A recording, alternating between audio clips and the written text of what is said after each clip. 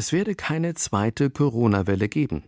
Ein Viertel aller Geimpften würde direkt sterben. Und wir befänden uns mitten in einem Bürgerkrieg. Prophezeiungen wie diese aus dem Umfeld der Corona-Leugner, Querdenker und Verschwörungsideologen gibt es seit Ausbruch der Pandemie.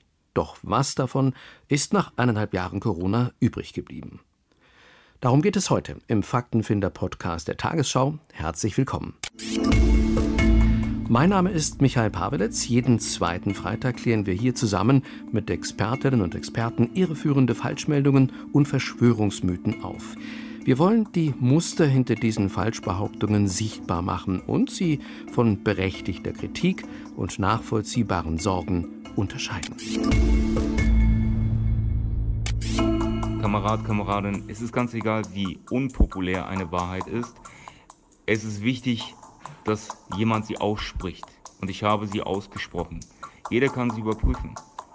Und auch meine Prophezeiungen von vor einem Jahr sind mittlerweile zu 90 Prozent erfüllt.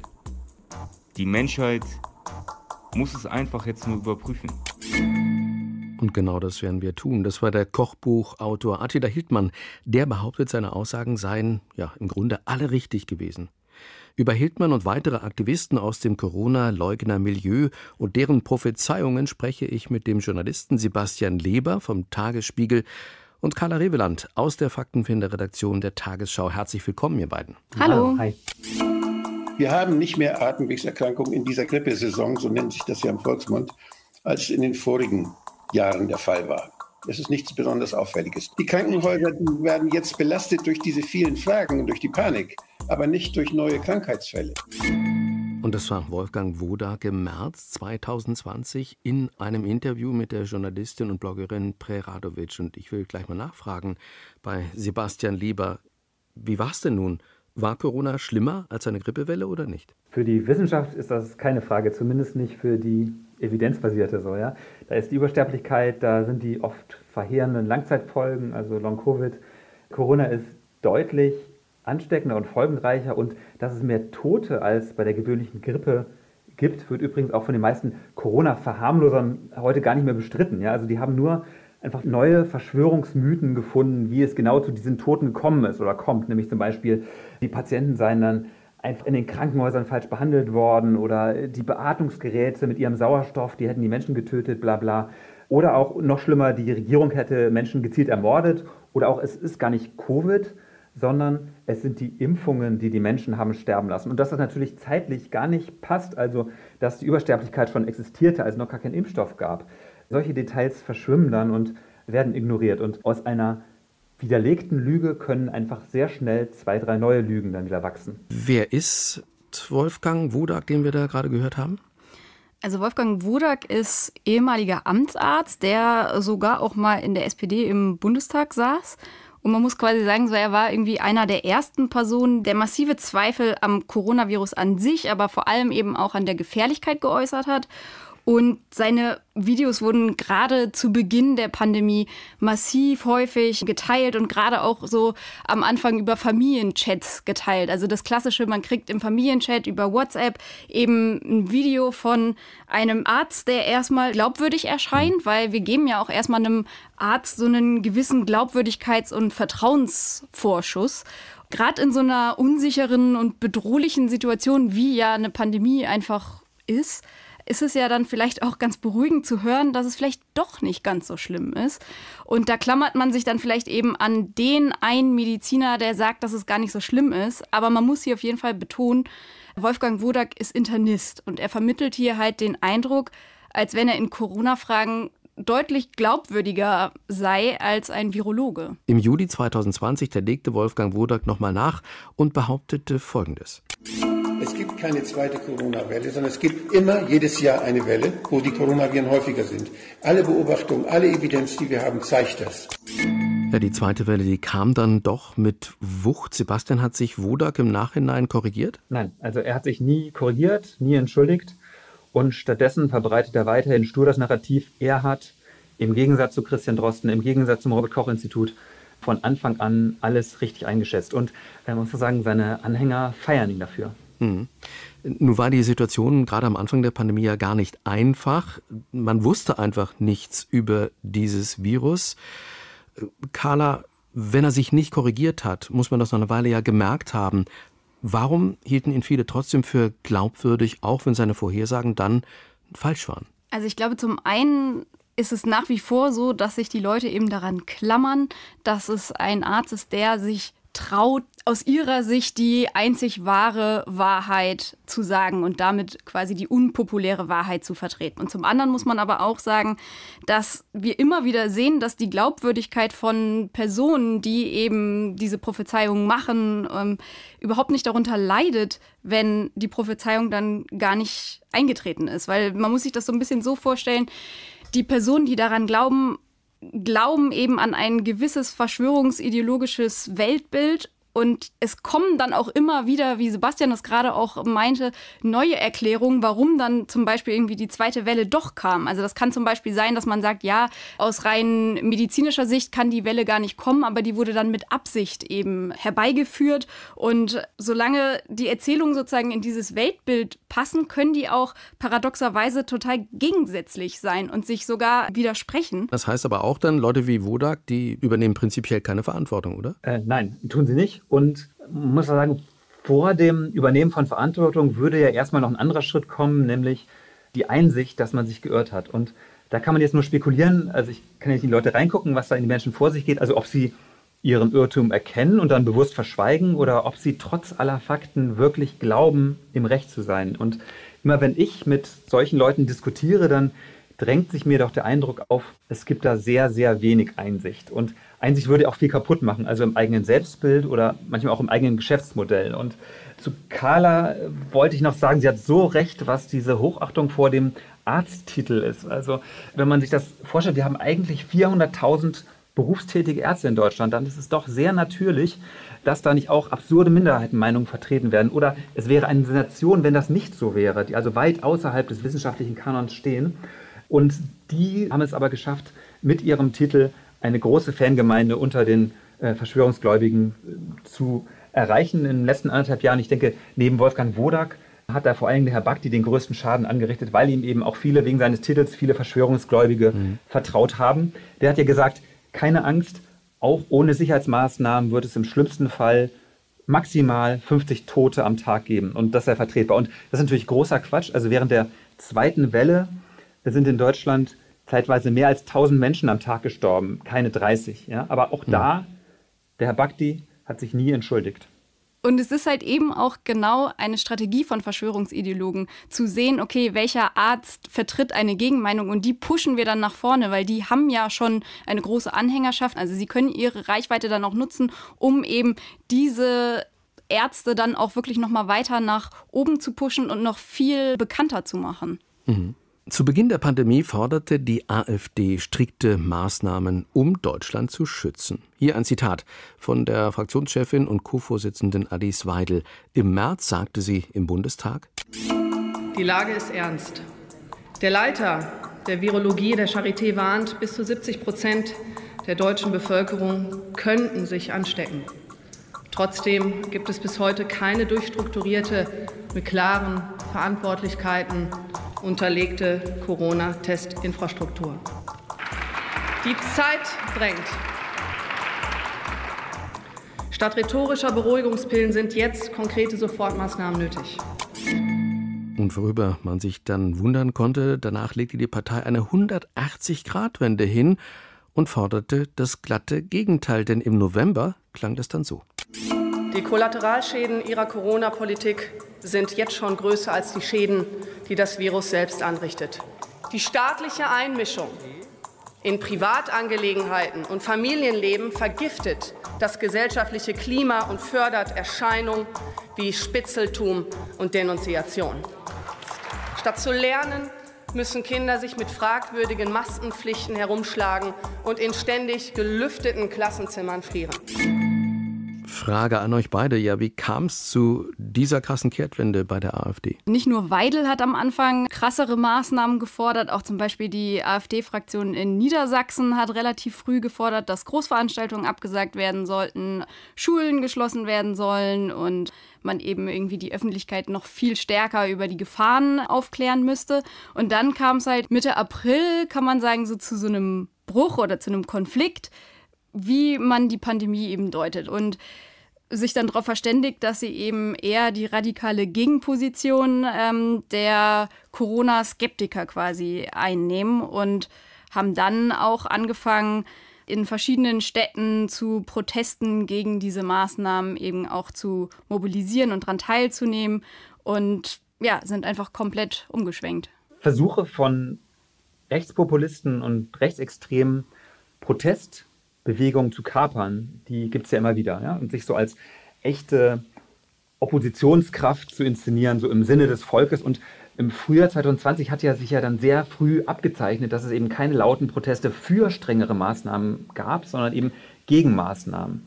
Und weil die Maßnahmenbefürworter natürlich zu Hause bleiben und sich an die Maßnahmen halten, logisch. Und von daher war es dann auch nur folgerichtig, dass die AfD dermaßen krass umschwenkt und objektiv glaubwürdig ist es vielleicht nicht, aber hier geht es ja dann auch eher so um die Vermittlung von Emotionen und die Ablehnung des Systems, die, die kann man der AfD ja schon abnehmen auch. Mhm.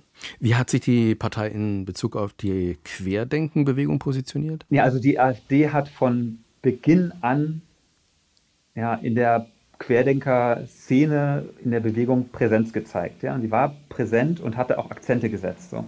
Und sie hat da enorm davon profitiert, dass es in dieser Bewegung eigentlich nie ernsthafte Abgrenzungsversuche gegenüber Rechtsextremen gab. Also dass Rechtsextreme, die vom Verfassungsschutz beobachtet werden, da auf Querdenker-Demos nicht nur willkommen geheißen, sondern regelrecht gefeiert werden.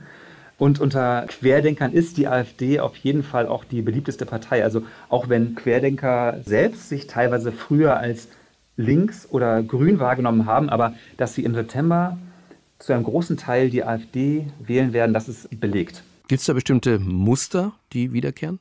Ja, also man kann sagen, dass die AfD und die Querdenkenbewegung im Prinzip noch viel mehr Gemeinsamkeiten haben als eben nur dieses Corona-Thema. Man könnte sagen, dass beide auf jeden Fall sehr skeptisch der Wissenschaft gegenüberstehen, also eher eine wissenschaftsfeindliche Haltung einnehmen.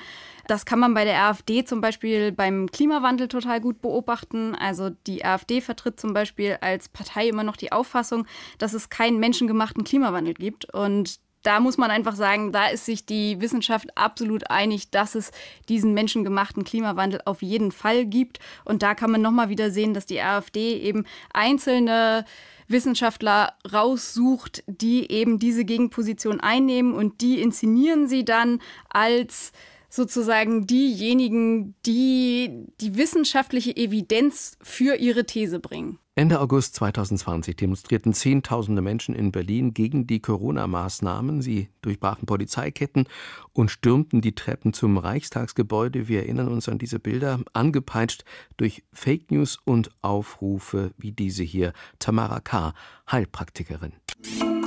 So Leute, wir schreiben heute hier in Berlin Weltgeschichte. Guckt euch um, die Polizei hat die Helme abgesetzt. Vor diesem Gebäude steht keine Polizei mehr. Und Trump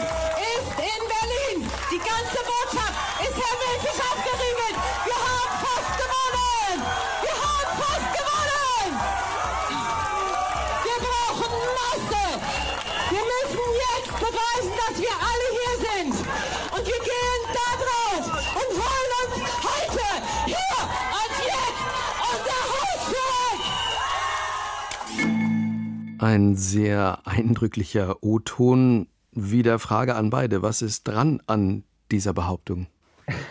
Ja, also Trump war nicht da, oh Wunder. Der Reichstagssturm ist dann auch misslungen. Und im Nachhinein hat äh, Tamara, äh, die Heilpraktikerin, dann die Schuld bei anderen gesucht. Also sie habe äh, dann einfach irreführende Informationen von anderen erhalten. Sie sei also selbst ein Opfer quasi. Und auch hier sieht man wieder klares Muster. Verantwortung tragen ist nicht erforderlich und ist auch nicht zu erwarten in diesem Kosmos. Und Trump ist für diese Szene auch in Deutschland ein echter Heilsbringer. Ja? Also er war und er ist es immer noch. Und es gibt immer noch die Hoffnung, dass er zurückkommt und richtig aufräumt und dass sein Abgang nur Taktik war, nämlich dass er jetzt erstmal die Liberalen und die äh, Linken und die Gutmenschen, Demokraten, die erstmal machen lässt, die Beweise sichert und sie dann allesamt festnehmen lässt. Das klingt für uns Außenstehende natürlich total absurd, aber Verschwörungsgläubige fordern dann untereinander Trust the Plan, also vertraue dem Plan. Du musst einfach sehr viel Vertrauen haben in diese Theorien, sonst hast du nicht wirklich den Durchblick. Man kann quasi noch sagen, dass dieser Sturm auf den Reichstag war noch begleitet von etlichen anderen Fake News, die ähm, kursiert haben. Also es gab zum Beispiel irgendwie noch die Gerüchte, dass russische oder auch US-Soldaten in Berlin quasi auf dem Weg sind, um nach dem Sturz der Bundesregierung dann sozusagen den politischen Übergang abzusichern. Und da kann man auch noch mal ganz eindeutig sozusagen so dieses Narrativ sehen und dieses ja sich gegenseitig hochschaukeln, zu sagen so wir sind jetzt gefragt, wir müssen jetzt etwas tun und dass eben ja Leute das dann auch glauben und dann wirklich angepeitscht durch diese Gerüchte ja wirklich versuchen, den Reichstag zu stürmen. Glauben diese Leute ernsthaft, sie würden die Macht in Deutschland übernehmen? Ich denke, dass an diesem Tag auf jeden Fall die Überzeugung sehr präsent war, dass jetzt endlich das System gestürzt wird und die Bundesrepublik endet und auch das Grundgesetz abgeschafft wird. Also solche Prophezeiungen gab es immer wieder über den ganzen Sommer und Herbst 2020. Jetzt hat es ein bisschen abgenommen, weil die auch insgesamt die Bewegung kleiner geworden ist. Die sehen sich selbst nicht mehr als ganz so schlagkräftig, aber ja, dieser Glaube war auf jeden Fall da. Und an diesem Tag, wo der Reichstagssturm gescheitert ist, da waren wirklich Menschen in Euphorie. Ja? Und an der Siegessäule, also ein paar hundert Meter weiter vom Reichstag, da hat der Querdenken-Gründer Michael Ballweg, der hat von der Bühne eine verfassungsgebende Versammlung ausgerufen, ernsthaft. Ja? Also dort sollte dann von den Anwesenden eine neue Verfassung ausgearbeitet und dann verabschiedet werden. Und das Grundgesetz hieß es damals zumindest unter den Querdenkern sei Besatzungsrecht. Und das ist ganz klassisches Gedankengut von Reichsbürgern. Und ja, das mit der verfassungsgebenden Versammlung hat natürlich auch nicht geklappt. Und auch da wurde dann wieder die Schuld auf andere geschoben. Zum Beispiel die Regierung sei schuld. Die hätten gezielt Spione und Saboteure in die Szene eingeschleust, um dann den Protest kaputt zu machen. Sonst hätte das natürlich geklappt mit dem Umsturz. Ist es denn Zufall, dass da eine Heilpraktikerin auf der Bühne stand? Nee, also das war ganz sicher kein Zufall, denn die Esoteriker, die bilden jetzt innerhalb dieser Querdenken-Szene auf jeden Fall eine sehr starke Fraktion. Das liegt meiner Meinung nach daran, dass Esoteriker verlockende Angebote bieten den Menschen, ja, und die vermeintlich gegen Corona helfen und die nicht so umständlich sind und nicht so entbehrungsreich sind wie jetzt Abstand halten und Maske tragen oder Menschen über Monate nicht sehen und ins Homeoffice gehen und so weiter. Also zum Beispiel wenn einem versprochen wird, man könne einfach die eigenen inneren Energieflüsse ins Gleichgewicht bringen und sei dann immun gegen Corona. Oder man müsste nur bestimmte Heilsteine in der Hosentasche haben oder sich für einiges Geld dann auf Internetseiten irgendwelche absurden Energiebooster bestellen. Und das ist natürlich fürchterlicher Unsinn, alles in allem, der vor allen Dingen auch deswegen so gefährlich ist, weil er Menschen davon abhält, wirklich Maßnahmen zu treffen, die einen dann auch schützen die also wirksam sind. Von daher ist es teilweise auch lebensgefährlich, denke ich. Aber viele Menschen glauben das innerhalb der Szene und wollen es auch glauben. Absolut. Und man muss natürlich auch noch sehen, dass genau aus dieser Esoteriker- und Alternativmediziner-Szene total viele schon vorher Impfgegner waren. Und die natürlich jetzt zu Corona auch sich mit der Querdenker-Bewegung total identifizieren und da gleich eine Gemeinsamkeit haben. Und da muss man auch sagen, dass das natürlich auch total gefährlich ist, weil dadurch, dass sie eben in Berührung kommen mit der Querdenkerbewegung, nehmen sie natürlich auch die Verschwörungserzählungen und ja, Ideen vom Widerstand gegen den Staat zum Beispiel mit auf und dann erfolgt eben auch eine Radikalisierung. Und man kann es ja auch sehr gut sehen, dass zum Beispiel halt in sozialen Netzwerken oder so die Radikalisierung auch sehr schnell vorangehen kann und dann geht man vielleicht als Impfskeptiker generell rein und war vorher eher so, ach, meine Kinder können irgendwie den Schnupfen auch ganz gut mit Globulis irgendwie überstehen und auf einmal äh, glaubt man daran, dass Bill Gates mit den Impfungen einem heimlich heimlich Chips implantieren möchte. Mhm. So, das kann dann oft auch schnell gehen. Stichwort Kinder. Ein anderer Arzt, der immer wieder für Aufsehen sorgt, das ist Bodo Schiffmann, der unter anderem das hier behauptet hat. Kinder sterben, weil sie Masken tragen gegen eine Erkrankung, die es nicht gibt. Werdet endlich wach, so eine verdammte Scheiße. Das kann doch nicht wahr sein. Er macht mich fertig. Was muss noch passieren, bitte? Drei Kinder reichen euch nicht? Drei Kinder in einer Woche? Warum tauchen Kinder, das fällt ja schon auf, bei solchen Erzählungen relativ häufig auf? Also gerade Geschichten, in denen Kinder involviert sind, emotionalisieren natürlich total und lassen sich gerade deshalb auch sehr gut verbreiten.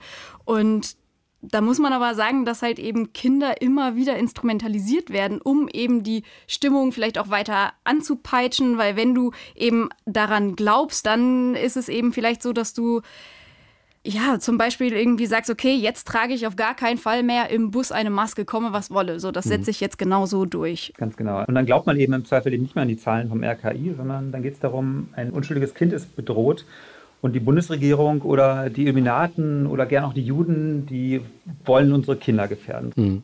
Genau, das schürt ja auch nochmal Verunsicherung und Wut. Mhm. Wer ist Bodo Schiffmann eigentlich? Für mich ist Bodo Schiffmann eigentlich das Paradebeispiel dafür, wie sich jemand in ganz kurzer Zeit immer weiter radikalisiert und man denkt, jetzt ist es aber genug, noch strenger kann es nicht werden und dann haut er wieder einen raus und toppt das dann noch. Ja? Der Mann ist eigentlich Schwindelarzt aus Baden-Württemberg und zwar nicht Schwindel im Sinne von Lüge, sondern im Sinne von Gleichgewichtsstörung. So. Und er hat dermaßen viel Unsinn vorausgesagt in den letzten anderthalb Jahren, ohne sich hinterher dann zu korrigieren. Und auch mit sehr konkreten Daten. Also für Oktober 2020 hat er das Ende aller Corona-Maßnahmen schon mal vorausgesagt und das Ende von Angela Merkel. Und für diesen Juni hat er einen globalen Finanzcrash vorausgesagt, glaube ich sogar auf den Tag genau, auf den 14. Juni. Und danach macht er eigentlich immer, immer weiter, als sei nichts gewesen. Und das ist ein Fehler, den die Zeugen Jehovas zum Beispiel früher auch lange gemacht haben, nämlich konkrete Daten für den Weltuntergang nennen. Ja? Und Sektenführer haben das aber dann irgendwann gelernt, dass es besser ist, keine Daten zu nennen, weil dann kann man sie auch nicht so leicht überführen. Aber dem Herr Schiffmann, der ist das egal, der ist das schmerzbefreit. Und der glaubt eben auch, dass gerade ein neuer Holocaust stattfindet. Und zwar über das Impfen, also dass das geheime Strippenzieher die Menschheit dezimieren wollen, ich glaube von 8 Milliarden auf 500 Millionen. Und der Mann bewirkt sich wirklich in Wahnwelten. Und das ist so einer der Kandidaten, von denen ich inständig hoffe, dass er bald verurteilt wird, auch wegen Holocaust-Relativierung, auch wegen Volksverhetzung. Also seine NS-Relativierung ist schamlos, schäbig, einfach unerträglich für mich. Seit Anfang 2021 gibt es Impfstoffe gegen das Coronavirus und sofort gab es auch dazu verschiedene fragwürdige Behauptungen, die massenhaft verbreitet wurden. So behauptete Rainer Füllmich im Februar 2021 über die Impfung. 25 Prozent sterben und äh, noch weitere 36 Prozent äh, haben schwere Nebenwirkungen und man weiß einfach nicht, ob sie es schaffen. Ähm, es ist in Worte nicht, man kann es in Worte nicht fassen, außer dass man sagen kann, das sieht hier aus wie ein Organi eine organisierte Massentötung. Eine ja buchstäblich unglaubliche Aussage. Sebastian, ich frage trotzdem, was ist an den Behauptungen dran? Ja, ist natürlich absurder Unsinn. Also dem Paul-Ehrlich-Institut wurden in der ersten Jahreshälfte 2021 bei 75 Millionen Impfungen rund 1000 Todesfälle gemeldet, bei denen ein Verdacht besteht, dass es einen Zusammenhang mit der Impfung gibt. Also ein Verdacht. Und das entspräche also im schlimmsten Fall einer Sterberate von 0,001 Prozent, nicht 25 Prozent. Genau, und zu den Zahlen haben wir auch einen Faktencheck gemacht. Man muss sagen, dass im Prinzip 48 Fälle übrig bleiben, wo das Paul-Ehrlich-Institut einen Zusammenhang mit dem Versterben und der Covid-19-Impfung für möglich oder wahrscheinlich hält. Und dabei handelt es sich halt überwiegend um Thrombosefälle. Wer ist Rainer Füllmich? Warum äußert er sich zu dem Thema? Ja, also das ist ein Anwalt, der verspricht, Christian Drossen zu verklagen und jedem, der sich dieser Klage anschließt, viel Geld zu bescheren. Aber um da mitzumachen, muss man erstmal seinem Team 800 Euro zahlen. Ja? Und so ist das oft in der Szene. Es gibt Abzocker und es gibt Abgezockte. Und er ist einfach komplett in seiner Fantasiewelt. Der wirft der Bundesregierung eine organisierte Massentötung vor. Der sagt, was hier stattfindet, sei schlimmer als der Holocaust. Und gerade nennt sich Rainer Füllmich übrigens Bundeskanzler und tagt jede Woche im schicken Anzug mit seinem Kabinett im Internet. Er sagt, es sei ein Planspiel, aber da kann man auch wieder gut sehen, wie Verschwörungsmythen funktionieren. Also im englischsprachigen Raum wird Kanzler Füllmich viel auf äh, Telegram gerade zitiert und da wird dann das Detail Planspiel natürlich weggelassen. Und da heißt es dann Sensation, die deutsche Regierung hebt das Maskenverbot auf. Nun haben wir gesehen, dass wir es ja mit falschen Propheten zu tun haben, die aber trotzdem immer abstrusere Behauptungen verbreiten und sich radikalisieren. Ich glaube, das extremste Beispiel ist Attila Hildmann, der zum bewaffneten Kampf aufruft. Wir sind im Krieg. Es ist Krieg. Aber was macht man im Krieg? Bläst man da Luftballons auf und lädt man da Videoblogger ein? Bereite dich auf das vor, was wir hier vorliegen haben. Und dementsprechend musst du dich verteidigen können und musst du handeln können. Wir brauchen echten Widerstand, der, der riskiert, der alles riskiert, der sogar sein Leben riskiert für unsere Kinder, für wehrlose Seelen. Handelt endlich. Hört auf mit diesen Straßenfesten. Hört auf mit diesen Rummelveranstaltungen und Konzerten. Ihr seid im Krieg, verdammt nochmal. Warum radikalisieren sich solche Leute immer weiter? Naja, ich denke, dass gerade die Leute sich immer weiter radikalisieren, die sich einfach nicht leisten können, damit aufzuhören oder umzukehren. Das ist jetzt beileibe nicht nur bei Attila Hildmann so, sondern es gibt einfach viele Menschen, für die die Corona-Leugnung eigentlich zum Lebensmittelpunkt geworden ist. Also manche haben ihren Arbeitsplatz aufgegeben oder haben sich mit ihrer Familie zerstritten oder mit ihrem, ihrem Lebenspartner. Liebesbeziehungen sind zu Bruch gegangen, Freundschaften beendet worden und die Bewegung hat ja jetzt deutlich an Schwung verloren, an Schlagkraft verloren, aber es bleiben die Radikalen über und die befruchten sich dann gegenseitig und pushen sich gegenseitig. Attila Hildmann ist da ein super Beispiel für, der war ja ein erfolgreicher Geschäftsmann und ist jetzt vom Haftbefehl geflohen, hat sich x-mal strafbar gemacht. Wenn er je nach Deutschland zurückkommen würde, würde der auf jeden Fall im Knast landen, unter anderem wegen krassem Antisemitismus. Das Einzige, was ihm jetzt eigentlich noch bleibt, ist ja, die Illusion, dass er irgendwas wissen würde, was andere nicht wissen, dass er Geheimwissen hätte und dass äh, seine Fantasie vielleicht doch wahr sein könnte. Und deswegen bleibt er dabei. Ist Hildmann ein extremer Einzelfall? Hildmann ist auf jeden Fall extrem, aber er ist kein Einzelfall. Also es gibt tatsächlich relativ viele Verschwörungsideologen, die immer wieder von einem dritten Weltkrieg sprechen, in dem man sich aktuell befindet.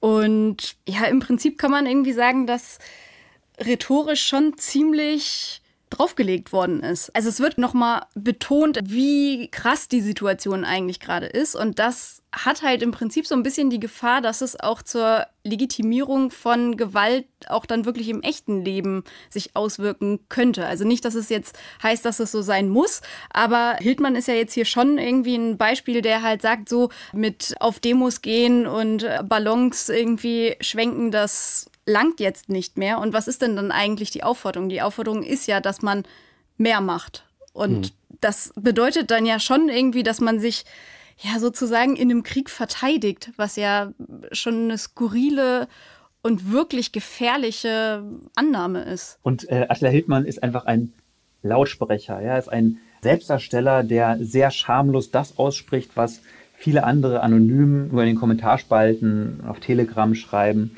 Und ja, Carla, du hast recht. Also die Grenze zum Terrorismus ist sehr schmal und Anschläge hat es schon gegeben und ich fürchte, das wird uns noch eine ganze Weile erhalten bleiben. So. Ich glaube, tatsächlich ist die Gefahr auch eben, dass wir ja gar nicht sehen, wo sich sozusagen so Gruppen bilden, die dann auch wirklich gefährlich sind. Weil es langt ja, dass sie sich untereinander vernetzen, wo man vielleicht auch gar nicht erwartet, dass es jetzt genau diese Leute sind. Also wir hatten das ja auch schon bei rechtsextremen Anschlägen, wo man vielleicht nicht gedacht hätte, dass diese eine Einzelperson wirklich zur Waffe greift. Aber aus dieser Annahme, dass man sich verteidigen muss, zum Beispiel weil die deutsche Rasse ersetzt werden soll, greifen Leute dann wirklich zur Waffe und wollen eben Deutschland retten. Und ich glaube, dass das in diesen Erzählungen, die Hildmann und Co. verbreiten, durchaus eben auch gegeben ist. Nun hat sich die Lage durch die Impfung, die Corona-Lage, muss man sagen, durch die Impfung ja deutlich entspannt. Heißt es auch, solche radikalen Behauptungen tauchen weniger auf? Nee, gar nicht. Vielleicht sind sie für die Allgemeinheit gerade nicht so offensichtlich, aber sie finden weiter statt, jeden Tag in sich verschiedenen Gruppen offline, online. Und man muss ja auch sagen, Verschwörungsideologen stehen ja immer wieder vor dem Problem, dass ihre Prophezeiungen eben nicht eintreten. Und das spielt, glaube ich, schon eine wichtige Rolle, wie man dann eben damit umgeht. Man nennt das Phänomen kognitive Dissonanz, wenn du dich sozusagen da schon so sehr reingesteigert hast, dass eben dieser Bürgerkrieg kommt, dass er droht und du dann eventuell sogar ja, Maßnahmen ergriffen hast und zum Beispiel den Job gekündigt hast, dafür aufs Land ziehst, um jetzt Selbstversorger zu werden. Und dann ist aber an Tag X das doch nicht eingetreten. Dann ist es ja so, dass man schon so viel da rein investiert hat, dass es vielleicht einfacher ist, einfach weiter dran zu glauben, als wirklich sozusagen alles hinzuwerfen und komplett rauszugehen. Und man bewegt sich ja so in der eigenen Bubble. Und wenn man nur gegenseitig bestärkt wird in diesem Glauben, kann man diesem Weltbild weiter treu bleiben, auch wenn der Bürgerkrieg eben jetzt noch nicht eingetreten ist. Man kann schon noch weiter ja. daran glauben, dass der noch droht. Ja, es gibt dazu eine Statistik, die wunderbar auch übertragbar ist auf das Festhalten an Verschwörungsmythen, nämlich, dass es Kinogängern im Durchschnitt besser gefällt, also ein Film besser gefallen hat, je weiter das Kino vom eigenen Wohnsitz entfernt ist. Ja? Weil der Aufwand, den man betrieben hat, um dahin zu kommen, der muss sich einfach gelohnt haben. Trotzdem frage ich mal, gibt es eine Möglichkeit, in dieser scheinbaren Einbahnstraße doch nochmal umzukehren und einen Weg rauszufinden aus so einer radikalen Bubble? Die gibt es, es wird aber immer schwieriger, je gefestigter das Weltbild schon ist. Aber wir haben zum Beispiel auch in den USA gesehen, dass wirklich lautstarke Corona-Leugner dann selber an Corona erkrankt sind und auf einmal sozusagen ihren AnhängerInnen sagen, bitte lasst euch impfen, es ist der komplett falsche Weg. Da gibt es schon noch den Ausweg, aber es ist nicht einfach. Ja, also der, der harte Kern dieser Leute ist vielleicht tatsächlich verloren für die Demokratie, für unsere Gesellschaft. Aber ich habe die Hoffnung, dass wir zumindest die Menschen erreichen können und vielleicht noch zum Umkehren bewegen können, die einfach über Dinge genervt sind, die vielleicht mit ihrem Leben unzufrieden sind, aber ideologisch noch nicht so ganz verbohrt sind, ja, die einfach nur Interesse an Widerstand haben, ja, also die es reizvoll finden, attraktiv finden. Es gibt so viel äh, und all diese Energie, die verschwenden diese Menschen damit, dass sie sich äh, mit Hokuspokus auseinandersetzen. Vielen Dank für das interessante Gespräch an Sebastian Lieber vom Tagesspiegel und Carla Reveland vom Faktenfinder. Danke auch fürs Zuhören und das Interesse. Das war der Faktenfinder-Podcast der Tagesschau zum Thema falsche Prophezeiungen der Corona-Leugner. Mehr Informationen dazu auf tagesschau.de-faktenfinder. Und wenn es Ihnen gefallen hat, abonnieren Sie diesen Podcast gern und ich würde mich freuen, wenn Sie in zwei Wochen wieder mit dabei sind.